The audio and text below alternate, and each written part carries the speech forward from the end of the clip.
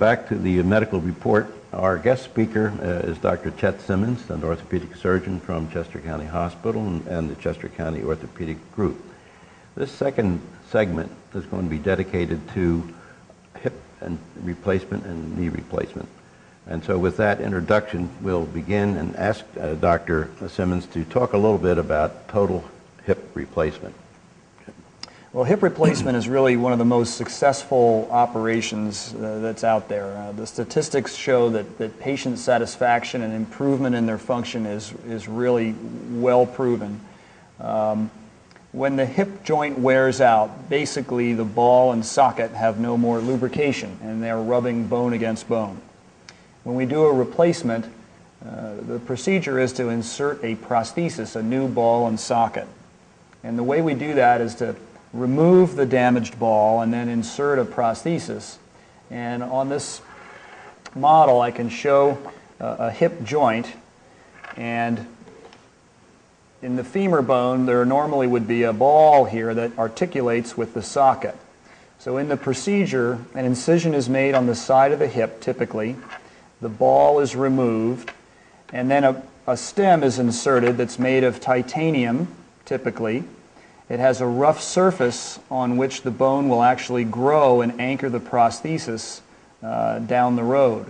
And the prosthesis is fitted into the bone cavity very tightly, and then it anchors itself biologically. And we can put various size and shape hip balls on top. The socket is also a metal socket that is fitted into the pelvis and has a bearing surface, typically of polyethylene plastic. And when those are put together, a smooth gliding joint is restored. Now that is a, this, this prosthesis is, is made out of what? The hip? The metallic the, components are made of titanium. And the ball is? Uh, the ball is typically made of a stainless steel, stainless but it, steel. it, can be made of other materials uh, for certain circumstances. Okay. Now, in, in the procedure itself, what is the length of time that most of these procedures take? In experienced hands, the surgery takes only about an hour, um, maybe an hour and a half. Um, patients are typically in the hospital for anywhere from two to three days. But we get our patients up walking that afternoon or the next morning. So they're, they're moving right away. So the post-operative recovery period is, is, is, is the next step in, in, in the, I guess, the rehabilitation. Uh, what, what do the patients do uh, to try to accelerate that? Well, in the hospital, we get patients up right away. We feel that moving quickly is important. Typically, they're on a walker or crutches for anywhere from two to four weeks, and then they use a cane for a month or so for balance. Uh, patients in the hospital are walking the hallway and even climbing stairs slowly, uh, but climbing stairs before they leave the hospital. Many patients can go directly home from the hospital uh, with a visiting nurse or home therapy, but some patients will go to a rehab center for a few days for extra therapy. Now, people are always interested, of course, in, in complications and, and safety and patient safety and so forth. What are some of the things you do for patient safety so that people feel comfortable when they go in for this procedure? Well, that's a big issue, particularly in joint replacement. The big complications that we want to avoid are infection, of course, uh, and blood clots. Those are two that are unique, uh, not unique, but common with joint replacement. For infection, we're sure to use uh, antibiotics uh, around the time of surgery. We operate in special clean air operating rooms with spacesuits that isolate the surgeon and the surgical team from uh, the patient so that it cuts down on the amount of bacteria. And we use some type of blood thinner. There are various choices for a period of time after surgery to cut down the risk of blood right. clots. So there's a lot of things done to, to make this as safe as possible, which is a big issue with, with any surgical procedure, and in particular orthopedics. Um, when someone has a, a hip replaced, how long is that going to last me? Well, the, the old hip replacements traditionally would last anywhere from 15 to 20 years. And the weak link is the polyethylene bearing surface. That's what wears out, much like the tread on a tire. Um, today, the polyethylene bearing that we have has 90% less wear than it used to. So uh, we're hoping that this is going to last most patients their lifetime. Uh, there are certain other circumstances, a very young patient who may be in their 40s, where we will use an advanced bearing surface, such as a ceramic ball, like is depicted here, that may have less wear. But we tell most patients it's probably going to last uh, decades at this point. Is there any uh, slippage or anything of the, any of these parts uh, frequently or not frequently? It's unusual. Occasionally, a part will come loose or wear out, and patients require maintenance surgery. Um, but as we get better and better and the designs improve, that's less and less common. Now, what are the outcomes in general statistically for, for hip surgery? Uh, Well, the, the, the statistics show that about 90 to 95 percent of the prostheses will last 15 to 20 years.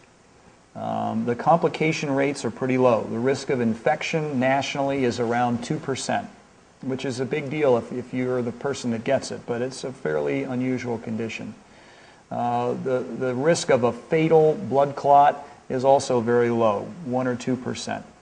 So most patients are very, very happy and avoid major complications.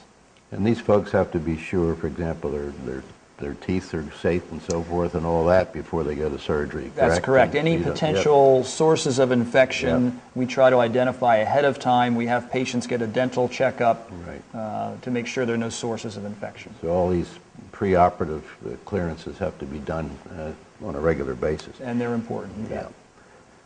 Well, I think uh, we'll move on now to the knee, and uh, the knee is always a, a little bit more complex in my mind than the hip, but probably not you. I think it is a little more complex, Okay. and anatomically, yes. Okay. Could you tell us a little bit about uh, the procedure that you, you perform for knee replacement? Well, a knee replacement uh, is really more of a resurfacing of the joint. Uh, many of my patients have this vision in their mind that we're going to go and chop the knee out and put a mechanical hinge in, and that's not exactly what we do. Um, the prosthesis for a knee is really a cap that goes on the end of the bone of the femur and the tibia, and that gives it a new smooth gliding surface. And in between, there's a polyethylene bearing, much like the hip, that acts as the cartilage and cushion in there. And it's done through an incision in the front of the knee. Um, the muscles and ligaments that support the knee are all maintained at the end, so they're still there operating the joint. Now, is there anything that's different about the surgical uh, preparation and so forth for knee surgery than there is for hip surgery? It, it, the preparation and the, the actual experience is very similar, and the recovery is very similar. I think what's different about the knee replacement is that it requires a lot more physical therapy and hard work in order to get the, the knee moving. And if patients aren't willing to do the therapy and endure some discomfort, they end up with a stiff knee and maybe unhappy. Okay. Is there anything peculiar to, say, to the knee prosthesis as opposed to the hip prosthesis as far as uh, outcomes are concerned? I think the outcomes are pretty similar. Uh, the longevity of the prosthesis is similar, and the patient satisfaction numbers are very close. And tell our viewers a little bit about um, the recovery period. You mentioned just briefly that it was a little bit longer. Uh, what specifically do these folks do in the forms for therapy? What, what is the process? I think w- with the hip patients, the, the difficulty is moving around, learning to get in and out of bed, climb stairs, but there's not a lot of active therapy to work on the range of motion and so forth at the beginning. With a knee, that range of motion and strengthening starts right away, the first day, uh, because if there's a delay, scar tissue will form and the joint will really stiffen up. And I think patients have to be mentally prepared to work a little harder with a knee replacement in general. Okay. Now, I think that, I think you've covered the, uh, the total hip replacement and total knee replacement, I think, pretty clearly, and I, I hope everybody understands exactly how it was done. I'd like to move on to some of the modifications of, of surgical procedures that, that you're familiar with. Uh, we're talking about hip, we'll first talk about hip resurfacing. Sure. Could you explain that a little bit? Yeah, hip resurfacing is a new procedure in the United States. It's been here for three or four years. It's been done in Europe for many years before that. And the, the theory is it's maybe a little bit uh, more conservative and bone conserving, and it may potentially last longer than a traditional hip replacement. And in this model, you can see the difference between the two. With the hip resurfacing, instead of removing the damaged ball, we just place a small cap, which if I can remove it here, on top. So we, we shape the end of the femur bone, and then we place this cap and stem on top that makes it smooth again. And what's a little bit different is that the socket prosthesis is all metal. So the joint ends up being a metal on metal bearing, which sounds like it would be rough and, and squeak, but actually it's very smooth and very durable. Uh, this may allow patients to be a lot more active, and it's designed for that young, active patient. For example, I have a, a gentleman who's in his late 40s, who's a nationally ranked singles tennis player that had this procedure done and was able to maintain his standing. Um, there are some concerns about this technology. There have been a few reports of problems with the metal bearings. Some patients are allergic to metal bearings, and if they get uh, a wear reaction to this, it can cause pain and swelling and dysfunction of the joint. So we're, we're conservative about using this. It's a promising new technology, but there's still some questions out there. What is the composition of the metal, do you know? The metal is a chrome cobalt alloy. Um, and it has to be that way because titanium is a soft metal that is not designed for a bearing surface. It's very strong, but it's not hard. Okay. Now, the, is there anything different between the, say, the longevity of, of, of these and the total Well, joint? theoretically, this metal on metal bearing may last longer, but we don't have studies to prove that yet. We have laboratory studies that show lower wear, um, but it's a little bit up in the air, and I, I make sure patients are aware of that if we're deciding to proceed. All right. Now, we're going to talk a little bit at the end of this uh, about what is frequently called minimally invasive surgery. Everybody's heard about minimally invasive surgery, particularly with the introduction of laparoscopic procedures and, and so forth. Where are you in orthopedic surgery with this? That's a big hot topic. Everybody that comes to my office wants a minimally invasive operation with a one inch incision, and uh, that's not always possible. Our philosophy is to make the incision as small as we can, but to make it big enough to do the job correctly. And the way I look at it is we're trying to put in a prosthesis that's going to last the patient 20, 30 years, we hope. So what if they get out of the hospital a day later because their incision is a little bit bigger? You want the carpentry work and the, and the surgical job to be done properly and not have the implant loosen or wear out. Um, we see cases of surgeons trying to do a big operation through a tiny incision and they do a poor job. They put the prosthesis in inappropriately and it fails.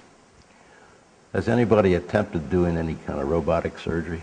There, there was some work with that. Um, what we're doing now is a lot of preoperative computer guidance where we will Okay. have a custom prosthesis made preoperatively using an MRI scan that will fit the patient potentially more accurately. And that, uh, I understand you, the company, you send your scans to the company and they, they customize the joint. That's correct. Is that correct? Correct. And that's also promising, but, but as yet unproven. Unproven. That's very good. Well, I think we've uh, covered a lot of very interesting topics, and uh, I want to thank Dr. Simmons for joining us today. Uh, I hope everybody understands a little more uh, at the end of the session than they did before, uh, what the indications for surgery are, uh, what the surgery is, and what the complications are, what we try to do to prevent the complications, and what's coming along as new procedures, hopefully down the line.